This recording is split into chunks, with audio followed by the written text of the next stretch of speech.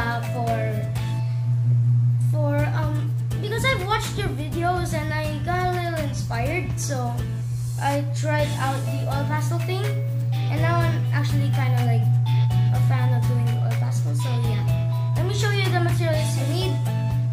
You need this light blue oil pastel and this sort of blue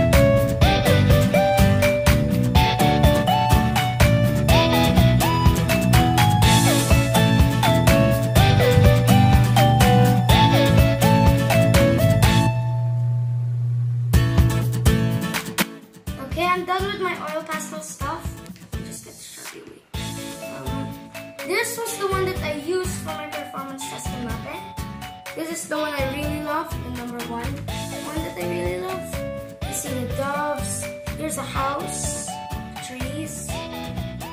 These are like hills or something. Yeah, islands. Like, there's sort of small islands. That's the sunset again. This is a sunset. Here's here's the one that I recently just done. Like yesterday, I done this yesterday. I don't really like it because I made a little mistake on mixing the black that's over with, let me get the new one that I just draw. I just drew. And it's also a sunset, as usual. I like the sunset ones. And this is like my second favorite, you know. It's like not bad, it's nice. Like you can see the sun here, it's about to go down. Here's like a boat on the water. And these are like little islands. There's a tree. Um, here's a house, another tree.